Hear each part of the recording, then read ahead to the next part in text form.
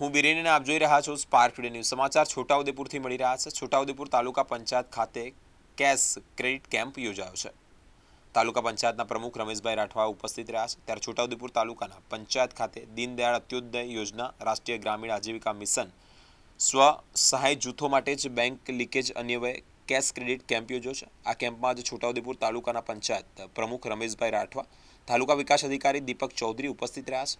સાથે જ છોટાઉદેપુર તાલુકાની આવતી ગામડાઓની અંદર સખી મંડળ પણ ચાલે છે. તેઓ જ સહાય રૂપે રકમ આપવામાં આવી છે. ત્યારે તાલુકા પંચાયતના પ્રમુખે તેવું જણાવ્યું છે.